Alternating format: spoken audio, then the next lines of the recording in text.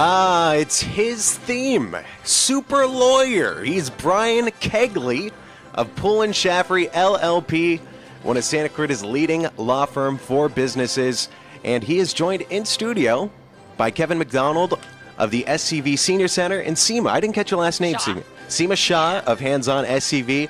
And award season is upon us. You know, people think it's over with the Grammys, with the Oscars, the Golden Globes. Oh, no, no, no, no, no, no, no, no. The, the highest honor is still yet to be awarded. It's the SCV Man and Woman of the Year. Brian, you have been nominated by both of these organizations. I have. Amazing, right? Congratulations! Thank you. I mean, you. I look at you. You have a very youthful look about you. uh, it's hard to it's hard for me to comprehend that you're even a lawyer because you don't look stressed. You always look cool, calm, collective every time I see you. And uh, You noticed that they laughed when you said I- that, I know. Aaron. I'm actually wondering why we're here now, Kevin. I think you're doing a fine job on your own. now let me roll through this. So you've been nominated for Man of the Year. By the way, are we playing it too safe by by having a man and woman of the year? I think it should just be SCV Person of the Year, and and kind of March Madness style. Ooh. bump it up a little bit. You know, let the ceremony be a little earlier than the year, and the top 16 people, whether it's eight women, eight men, or just the top 16, and have it bracket style. What do you think? You know, Aaron, the winner of the Man and Woman of the Year has to actually put on the event the next year. They're the co-chairs. Is that so right? So if we were going to implement that type of change, you really need a change agent to be the SCV Man of the Year. And what better change agent than the attorney in the house? there we go. Again, there we Kevin, go. you want to go grab coffee? so, so Kevin, we'll start with you. Uh, highlight, uh, highlight Brian's activity and involvement at uh, the SCV Senior Center. I know he's been involved for 11 years. Yeah, 11 years advocating and supporting seniors in our community through the SCV Senior Center. You know, honestly, we're awfully proud of him. We're proud of him and his, his support for us and our seniors. And, you know, he's not looking for anything in return. I mean, he's just, we asked Brian, can you do this? The answer is yes. Can you do this? Yes. Can you be a waiter? Sure. Can you be the MC? Yes. Can you be the, the chair of the event? Yes. And again, when, when they're not looking for anything in return and he wants to give back, it's to us and the, to of the other charities. It's like it just it. I think it really just comes from the heart. Total utility player, It this is. guy. Well, the great thing it. is, I say no all day long to clients and opposing counsel. That it's easy to say yes for a cause that you believe in, right? Right, exactly. Now, now, Seema, how about you and uh, Hands on SCV? I know he's been involved for 13 years. Yes. 13 years. In lawyer years, that's like hundred and something. I know. It right? is. Yeah. I know, and he doesn't charge anybody for any of this volunteer service. He doesn't. And I think Kevin got it right. He is the yes man. So, uh, Brian, I know Brian has uh, all the meetings or at his conference room, at, at his office at Poole and Shaffery. Yeah. What other uh, kind of activities does And he that's partake yeah, in? and that's such a, a Yeah, it's such a very small- part of it, yeah, right. honestly. Um, I've been ED for six and a half years now, and Brian was board president for four of those years. Um, and prior to that, he'd been president, I believe, for four additional years. Yep. Too long. So out of his 13 years, and that's not an easy role to play. Um, but I think what makes Brian so unique is, you know, we're not our mission as a volunteer center. It's not as tangible. We, you know, we often joke we don't have the kids, we don't have the puppies, we don't have the seniors, um, and so it's not. He's not doing it for the glory. There not the glory there. Um, and to stick around for 12 years in a nonprofit, as Kevin can attest to, there's highs and lows. And you know, you often have board members that jump ship.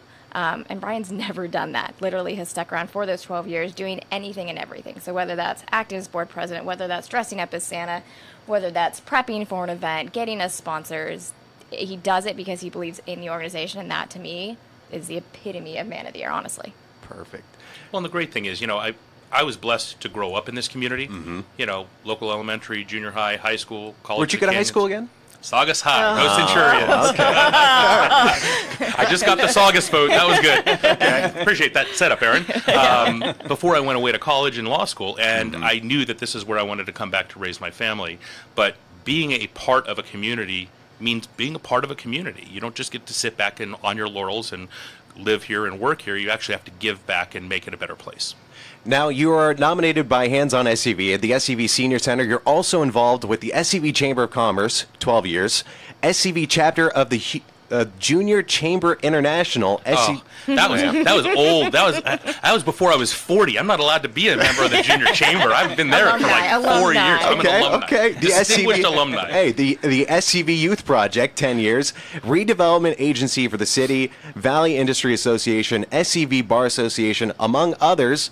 And I I think you need to get more involved, Brian. I, I don't think you're doing enough around the community. Did I mention I have three daughters at home also that I have to care for and, And be a- part of their lives? And a dog Brutus. And the dog Brutus. Oh, you my got God. it. I do my research. The I only love it. other male in the house. It's true. Yes.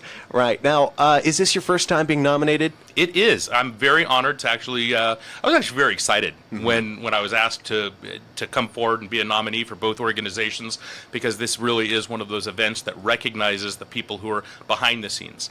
Um, and a lot of the stuff that we do for both organizations is intended to be behind the scenes because they're great causes that. We don't need the honor, we don't need the glory, um, but it's very nice to be recognized nonetheless. Are you preparing a speech, or are you just going to go up there and speak off the cuff if, if you if you win?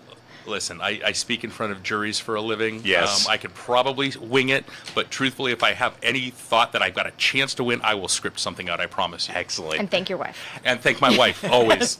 Now, it's, it seems appropriate to ask, since you are a lawyer, have we started conducting opposition research against any of the other nominees? have we have we started doing any of that? Careful, careful, Brian. A- Anything that was prepared in the course and scope of the uh, attorney work product privilege, I cannot discuss on the radio. I apologize. Uh, no, listen, I, there are several other wonderful, wonderful candidates um, that have done at least as much as I have, uh, and I'm very thankful to be in such great company, both on the man of man of the year and woman of the year end of things. I was awestruck at the paparazzi event just by how amazing those people are.